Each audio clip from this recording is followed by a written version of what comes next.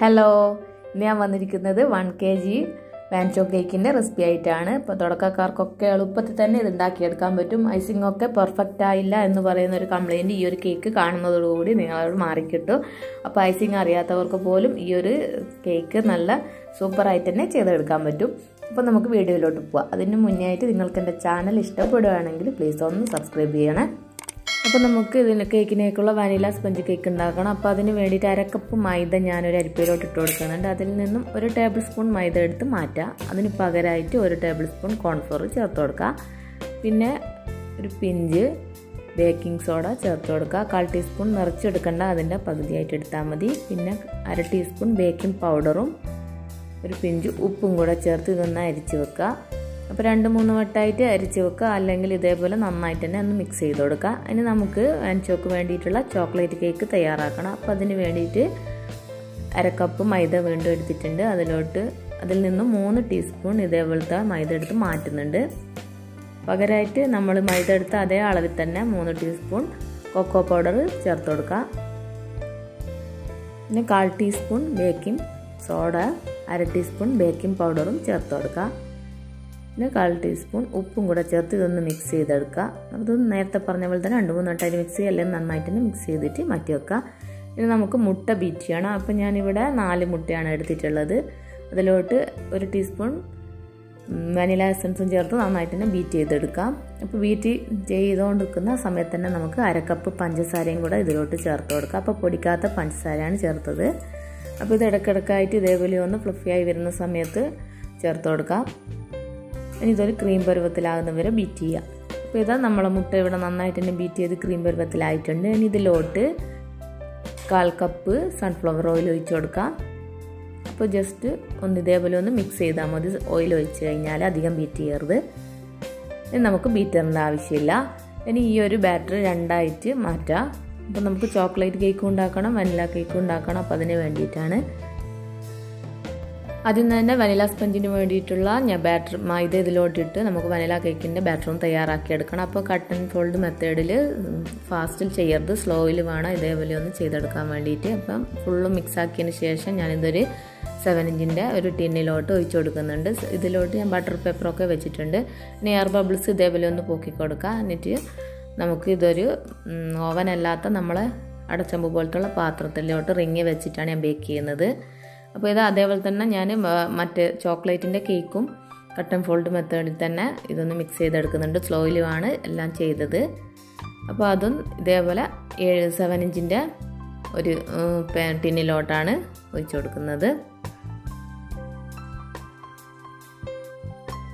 ഇപ്പോൾ രണ്ടും അര കിലോ വെച്ചിട്ടാണ് ഉണ്ടാവുക. അപ്പോൾ അതുകൊണ്ട് തന്നെ പെട്ടെന്ന് തന്നെ കുക്കായി കിട്ടും. അപ്പോൾ വനില സ്പഞ്ച് കേക്ക് എനിക്കിവിടെ ബേക്കാൻ വേണ്ടിയിട്ട് ഇരുപത് മിനിറ്റും കൊക്കോ പൗഡറിന്റെത് ചോക്ലേറ്റ് കേക്ക് ഇരുപത്തഞ്ച് മിനിറ്റും കുറച്ചും കൂടെ എടുത്തിട്ടുണ്ട്. കാരണം കൊക്കോ പൗഡർ ചേർത്തുകൊണ്ട് തന്നെ ബേക്കാവാൻ കുറച്ച് ടൈം പിടിക്കും. അപ്പോൾ ഇതാ രണ്ടും ഇതിവിടെ ബേക്കായി കിട്ടിയിട്ടുണ്ട്. ഞാനിതൊന്ന് മാറ്റാം. നമുക്ക് ടിന്നിൽ നിന്ന് ഇത് റിമൂവ് ചെയ്യും. ഇനി നമുക്ക് ഇതിലുള്ള ക്രീം ബീറ്റ് ചെയ്യണം. അപ്പോൾ ഞാനിവിടെ ഒന്നേകാൽ കപ്പ് വിപ്പിംഗ് ക്രീം നല്ല സ്റ്റിഫായിട്ട് തന്നെ ബീറ്റ് ചെയ്തെടുത്തിട്ടുണ്ട്. ഇനി ഇതൊന്ന് മാറ്റി വെക്കാം. നമ്മൾ കേക്ക് ഉണ്ടാക്കിയ ആ സെയിം പാത്രത്തിന്റെ പാത്രത്തിൽ തന്നെ ഞാൻ ഇതേപോലെ കുറച്ച് ചോക്ലേറ്റ് ഗ്രേറ്റ് ചെയ്തതും രണ്ട് ടീസ്പൂണോളം സ്പൂണോളം വിപ്പിംഗ് ക്രീമും കൂടെ വെച്ച് കൊടുത്തതാണിത് അപ്പോൾ നന്നായിട്ട് തന്നെ മെൽറ്റായി വന്നിട്ടുണ്ട്. ആ കേക്കിന്റെ ആ ഒരു ആ ഹീറ്റുള്ള ഈ ഒരു പാത്രത്തിൽ തന്നെയാണ് ഞാൻ ചെയ്തത്. അപ്പോൾ അതേപോലെ വൈറ്റ് ക്രീമും വൈറ്റ് ചോക്ലേറ്റിന്റെ ഗനാശയം തയ്യാറാക്കിയിട്ടുണ്ട്. അതേപോലെ ഡാർക്ക് ചോക്ലേറ്റിന്റെ തയ്യാറാക്കിയിട്ടുണ്ട്. അപ്പോൾ ഇത് രണ്ടും ആവശ്യമാണ് ഈ ഒരു കേക്കിന് അപ്പോൾ നമ്മളെ കേക്ക് ഞാൻ വനില കേക്ക് രണ്ട് ലെയറായിട്ടും ചോക്ലേറ്റ് ലെയർ ആക്കാതെയാണ് വെച്ചിട്ടുള്ളത്. അപ്പം മൂന്ന് ലെയർ മാത്രമേ നമ്മൾ ഈ ഒരു കേക്കുള്ളൂ അപ്പോൾ ഇതാ ഫസ്റ്റ് കേക്ക് ഒരു കേക്ക് ബോർഡ് എടുത്ത് അതിന്റെ മുകളിലോട്ട് കേക്കിന്റെ പീസ് വെച്ച് കൊടുത്തതിന് ശേഷം ഷുഗർ സിറപ്പ് കൊണ്ട് വെറ്റ് ചെയ്യുക. അതിന് ശേഷം നമ്മൾ ഈ ക്രീം ഒന്ന് സ്പ്രെഡ് ചെയ്ത് കൊടുക്കുക. ഈ ഷുഗർ സിറപ്പ് തയ്യാറാക്കിയത് അരക്കപ്പ് പഞ്ചസാരയിലോട്ട് ഒരു കപ്പ് വെള്ളം ഒഴിച്ച് നന്നായിട്ട് തിളപ്പിച്ചെടുത്തതാണ്. എന്നിട്ട് നന്നായിട്ട് ഫ്രിഡ്ജിൽ വെച്ചൊന്ന് തണുത്തതിന് ശേഷമാണ് ഞാനിപ്പോൾ ഉപയോഗിക്കുന്നത്. അപ്പോൾ ഇതാ ക്രീം സ്പ്രെഡ് ചെയ്തതിന് ശേഷം അതിന്റെ മുകളിലോട്ടായിട്ട് നമ്മൾ തയ്യാറാക്കി വെച്ചിരിക്കുന്ന വൈറ്റ് ഗനാഷ് ഇതേപോലെ ഒന്ന് സ്പ്രെഡ് ചെയ്ത് കൊടുക്കുക. അതിന്റെ മുകളിലോട്ടായിട്ട് നിങ്ങൾക്ക് വേണമെങ്കിൽ നട്ട്സൊക്കെ ചേർത്ത് കൊടുക്കുക. ഞാനിപ്പോൾ ഒന്നും ചെയ്തിട്ടില്ല. ഇനി നമുക്ക് നമ്മളെ ചോക്ലേറ്റ് കേക്കും കൂടെ വെച്ച് കൊടുക്കുക. അതും നേരത്തെ ചെയ്ത പോലെ തന്നെ ഷുഗർ സിറപ്പ് വെച്ച് വെറ്റ് ചെയ്യുക അതിന് ശേഷം ക്രീം കൊണ്ട് നന്നായിട്ട് തന്നെ സ്പ്രെഡ് ചെയ്യുക. അപ്പോൾ ഈ ക്രീമും എല്ലായിടത്തും ആകുന്ന രീതിയിലൊന്ന് സ്പ്രെഡ് ചെയ്ത് കൊടുക്കാം. അതിനുശേഷം നമ്മൾ ഡാർക്ക് ചോക്ലേറ്റ് മെൽറ്റ് ചെയ്തത് അതും കൂടെ ഇതിൽ മുകളിലോട്ടായിട്ട് സ്പ്രെഡ് ചെയ്ത് കൊടുക്കാം.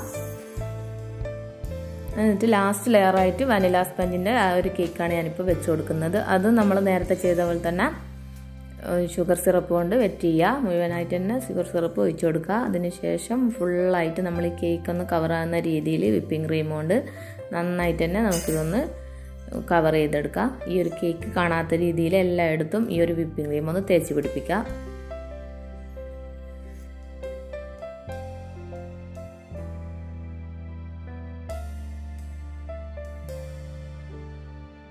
ഇനി ഇതേപോലെയുള്ള സ്ക്രാപ്പറോ അതേ അല്ലെങ്കിൽ കാർഡോ വെച്ചിട്ട് ഇതിന്റെ ഫുൾ സൈഡും ഇങ്ങനെ ഇതേപോലെ ഒന്ന് ഷേപ്പാക്കി എടുക്കുക അപ്പോൾ കൈക്ക് കേക്കിന്റെ എല്ലാ ഭാഗവും കവർ ചെയ്തതിന് ശേഷം വീണ്ടും ഞാൻ ഈ കാർഡ് ഉപയോഗിച്ച് രണ്ടാമതൊന്നും കൂടെ ഒന്ന് ഐസിങ് ചെയ്തെടുക്കുന്നുണ്ട്. അപ്പോൾ ഇതൊരു പെർഫെക്റ്റ് ആയിട്ട് തന്നെ കിട്ടണമെന്നില്ല. കാരണം നമ്മൾ മുകളിലോട്ടായിട്ട് ഗണേശി ഒഴിക്കും അതേപോലെ സൈഡിലോട്ട് വൃത്തിയോടൊക്കെ മാറി കിട്ടാൻ വേണ്ടിയിട്ട് ഇതാ ഇതേപോലെയുള്ള ഒരു ബ്രഷ് ഉണ്ടെങ്കിൽ അത് മതി.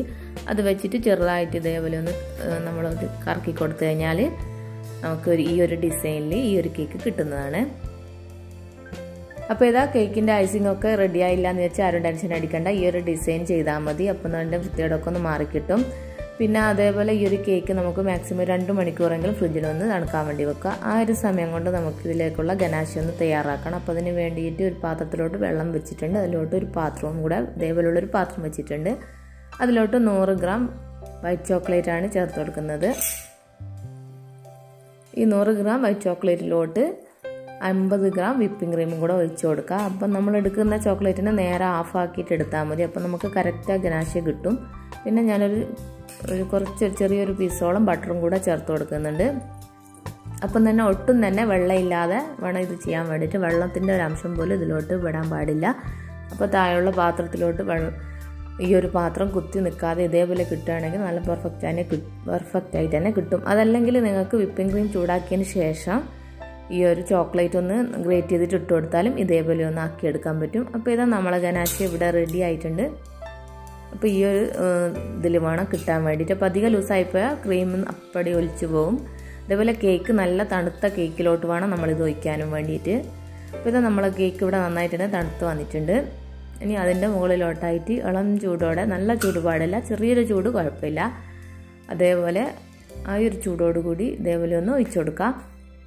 അപ്പോൾ നിങ്ങൾ മറക്കരുത്. എന്റെ ചാനൽ സബ്സ്ക്രൈബ് ചെയ്യാനും അതേപോലെ വീഡിയോ ഇഷ്ടപ്പെട്ടിട്ടുണ്ടെങ്കിൽ ലൈക്ക് ചെയ്യാനും കമന്റ് ചെയ്യാനും മറക്കരുത്. അപ്പോൾ ഇതാ കേക്കിന്റെ മുകൾ ഭാഗത്തൊക്കെ ഞാൻ വൈറ്റ് ഗനാശയെ കൊണ്ട് ഇതേപോലെ ചെയ്തിട്ടുണ്ട്. സൈഡിലൊക്കെ ഈ ഒരു രീതിയിലാണ് ചെയ്തിട്ടുള്ളത്. ഇനി നമുക്ക് ഇതിന്റെ മുകളിലോട്ടായിട്ട് ഡാർക്ക് ചോക്ലേറ്റ് മെൽറ്റ് ചെയ്തതും ഇതേപോലെ ഒന്ന് ഒഴിച്ചു കൊടുക്കുക. നമ്മൾ സ്പൂൺ കൊണ്ട് ഇതേപോലെ ഒന്ന് ആക്കി കൊടുത്താൽ മതി. അപ്പം ഈ രണ്ട് ചോക്ലേറ്റും സെറ്റാകുന്നതിന് മുന്നേ വേണം ഇത് ചെയ്യാൻ വേണ്ടിയിട്ട്. രണ്ടും ഇപ്പം വൈറ്റ് ഒഴിച്ച് ആ ഉടനെ തന്നെ നമ്മൾ ഈ ഡാർക്ക് ഒഴിക്കണം. എന്നാലേ ഈ ഒരു ഡിസൈൻ നമുക്ക് ചെയ്തെടുക്കാൻ പറ്റുള്ളൂ. വൈറ്റ് ഒഴിച്ച് വൈറ്റ് സെറ്റായതിന് ശേഷം ഇത് ഒഴിക്കുകയാണെങ്കിൽ നമുക്ക് സെറ്റ് ചെയ്യാൻ പറ്റില്ല. അപ്പോൾ എന്തായാലും ഒന്ന് ശ്രദ്ധിക്കുക. അപ്പോൾ നമുക്ക് ഇഷ്ടമുള്ള രീതിയിൽ ഇഷ്ടമുള്ള ഡിസൈനിൽ ഇത് ചെയ്തെടുക്കുക അപ്പോൾ എന്തായാലും നിങ്ങളിതൊന്ന് കണ്ടിട്ടൊന്ന് ട്രൈ ചെയ്ത് നോക്കുക കേട്ടോ. അപ്പോൾ അടുത്ത വീഡിയോ ആയിട്ട് വീണ്ടും കാണാം. താങ്ക്